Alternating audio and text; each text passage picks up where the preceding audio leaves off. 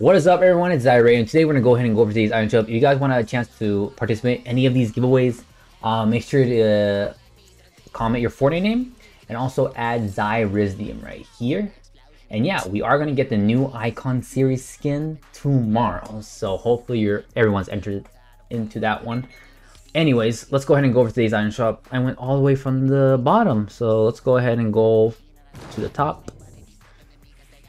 Okay, we got Steel Sight. Of these skins. I haven't seen this skin in a while. What is this? Season Season X. What is this? Oh, okay. Applauds.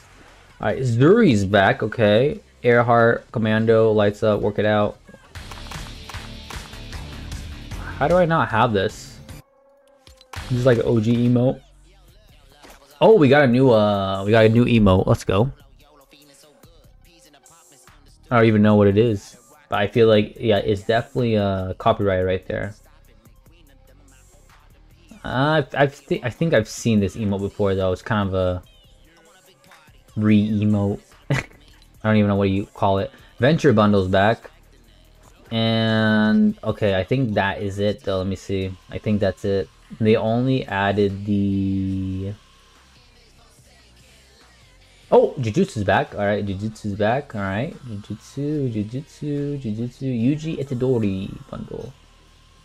Yeah, that's it. So pretty much we got all the Jujutsu Kaisen stuff. I was hoping for a wave 2, but we haven't got any further details of what the skin will look like.